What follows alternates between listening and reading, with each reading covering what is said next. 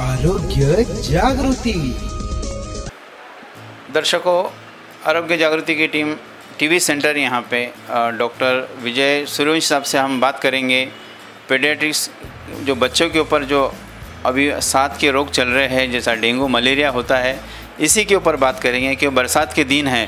बर, बरसात के दिन की वजह से काफ़ी ये वजह से काफ़ी बच्चों पे असर पड़ रहा है। और सबसे महत्व की बात ये है क्या जो जो बच्चों पे कोई भी वायरल इन्फेक्शन इतना जो ज़बरदस्त अटैक करता है तो बच्चा उसको झेल नहीं पाता है। इसी के ऊपर हम डॉक्टर सुरेंद्र साहब से बात करेंगे। सबसे पहला हम आरोग्य जागृति में डॉक्टर सुरेंद्र साहब का। अ, सर आज बच्चों में जो दिन ब दिन बीमारियों का जो सात रोग चल रहे हैं हाँ। अभी बरसात की वजह से कौन सा ज़्यादा रोग पनप रहा है बरसात की वजह से अभी जो है सबसे ज़्यादा डेंगू के पेशेंट दिखाई दे रहे हैं। और उसके साथ साथ रेस्पिरेटरी इन्फेक्शन भी बहुत सारे ज़्यादा हैं और गैस्ट्रोइंट्राइटिस के भी पेशेंट आ रहे हैं। लेकिन सबसे ज़्यादा जो तकलीफ़ है अभी वो डेंगू की वजह से और जो डेंगू के जो कॉम्प्लिकेशंस है, वो भी इस बार दिखाई दे रहे हैं, जो चार पाँच साल में नहीं थे। डेंगू हो रहा था बच्चे अच्छे हो रहे थे लेकिन इस बार डेंगू की वजह से कुछ कॉम्प्लिकेशन भी हो रहे हैं जिसकी वजह से इन्फेक्शन ज़्यादा हो रहा है बच्चे सीरियस हो रहे हैं। सर आज जो घर में बच्चों को बुखार आता है इस टाइम में माता पिता क्या समझती है उसको बुखार आया सादा पैरासीटामोल या खुद अपने मन से दवाएँ देती है ऐसे में माँ बाप को आप क्या संदेश देना चाहेंगे एक तो कैसा है जो अभी जो वायरल इन्फेक्शन चालू है या डेंगू का बुखार है तो डेंगू का बुखार कैसा है? सादे दवाई देने से भी कम नहीं होता। दवाई देने के बाद थोड़े दिन, देर के लिए कम हो जाता है, फिर से आता है। अगर ऐसा है तो डॉक्टर को दिखा के डेंगू का टेस्ट करना चाहिए। अगर डेंगू के लक्षण भी ऐसे है कि बुखार कम ज़्यादा होता है, सर दर्द होता है, उसके बाद पेट दर्द होता है, बॉडी पे पूरा रैश आ जाता है, ये सब लक्षण है। तो ऐसे लक्षण अगर दिखाई दे रहे हैं और सादे दवाई देने के बाद भी बुखार अगर चालू है तो ज़रूर डॉक्टर को दिखाइए उनके सलाह से फिर आगे का टेस्ट वगैरह कर सकते हैं। सर जैसा बताया कि डेंगू के लक्षण दिखाई देते नहीं कम दिखाई देते और माँ बाप को भी समझ नहीं पाता और बच्चा छोटा होने के कारण वो बोल नहीं पाता है। ऐसा कौन सा लक्षण है जो हमने डेंगू की तरफ़ अपने को तवज्जो देता है? एक तो कैसा है बुखार बहुत ज़्यादा होना कम ज़्यादा होना दवाई से के कम नहीं होना उसके बाद पूरे बॉडी पे लाल रैश आ जाती है। लाल हो जाती है बॉडी पैर दर्द हो जाते हैं, सर दर्द हो जाता है, उल्टियाँ होती किसी किसी को। लेकिन अगर बॉडी पे रैश आ रहा है, बुखार कम ज़्यादा हो रहा है तो ये डेंगू के लक्षण हो सकते हैं। सर, जो आज डेंगू, जो डेंगू डेंगू खाली लोगों को मालूम है, इसका सिम्टम्स कैसे होते हैं, ये आपने बता चुके हैं। लेकिन जो ज़्यादा बुखार होने पे ब्रेन पे इसका इफ़ेक्ट होता है और झटके आते हैं। ऐसे टाइम में माता पिता ने फ़र्स्ट प्रायोरिटी उसको प्रथम उपचार क्या देना चाहिए? नहीं, एक तो कैसा, अगर डेंगू है तो इस बार डेंगू के कॉम्प्लिकेशंस भी दिखाई दे रहे हैं। एक तो इसके तीन प्रकार होते हैं, डेंगू फीवर, जो सादा डेंगू है जिसमें प्लेटलेट कम ज़्यादा होते हैं, और वो यूजुअली दवाई से ठीक हो जाते हैं। लेकिन डेंगू शॉक सिंड्रोम और डेंगू हेमोरेजिक फीवर तो कैसा है? डेंगू शॉक सिंड्रोम में बच्चा एकदम बीपी कम हो जाता है कंडीशन सीरियस हो जाती है। और डेंगू हेमोरेजिक फीवर में बॉडी में त्वचा के नीचे ब्लड ये हो जाता है, रक्तस्राव हो जाता है। संडास में से और लगा पेशाब में से भी ब्लड आता है।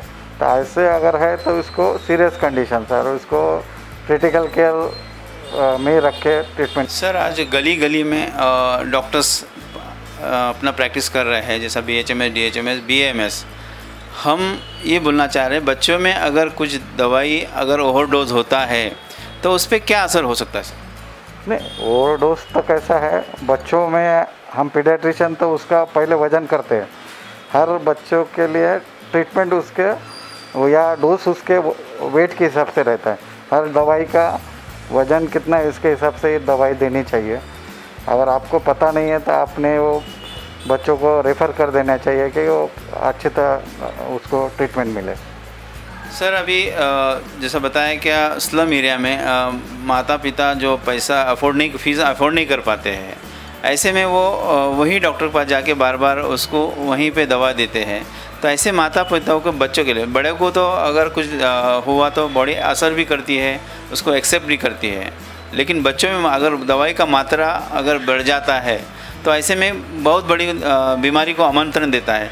तो ऐसे माता पिता को क्या सजेशन देंगे नहीं एक तो कैसा है हमारे महानगर पालिका और उसके अर्बन सेंटर्स है हेल्थ सेंटर्स है जहाँ डेंगू और अदर जो भी, भी मलेरिया है डेंगू है या बाकी भी है तो वहाँ मुफ़्त में आपका इलाज होता है मुफ़्त में टेस्ट भी होता है टेस्टिंग भी होता है। जैसे कोरोना के लिए टेस्ट कर रहे, वैसे ही डेंगू और इसके मलेरिया का भी फ्री में आपको टेस्ट हो जाता है।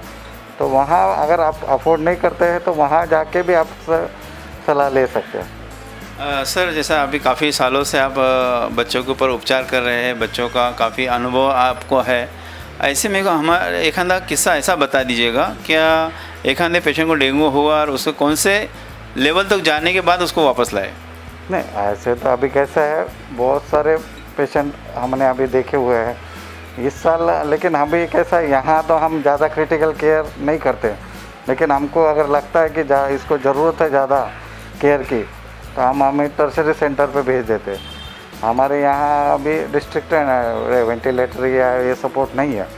तो जब भी भी ज़्यादा कुछ तकलीफ़ लगती है, लेकिन हम 24 घंटा रहते हैं तो हमको थोड़ा भी सिम्टम ज़्यादा लगते हैं। तो टर्सरी केयर सेंटर में बेच के उसको आगे का ट्रीटमेंट देने को कहते हैं। आखिरी सवाल ये है कि आज बरसात का मौसम है, कम ज़्यादा जो टेम्परेचर कम ज़्यादा हो रहा है, ये बच्चे पे काफ़ी असर कर रहा है। आज एज अ बाल रोग तज्ञ आज माता पिता को क्या संदेश देना चाहेंगे? क्या बच्चों को कैसा प्रिकॉशन लेना चाहिए?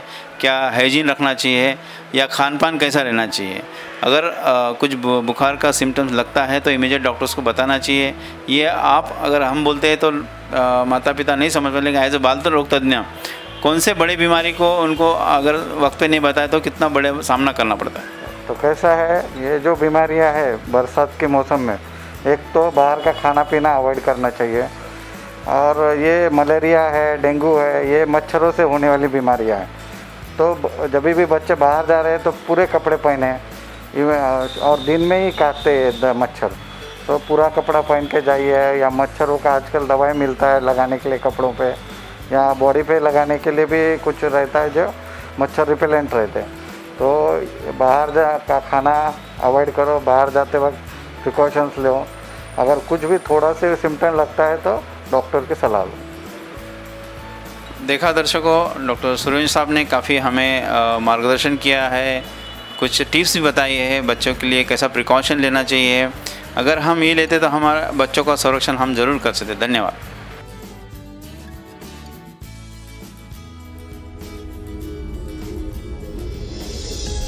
आरोग्य जागृती।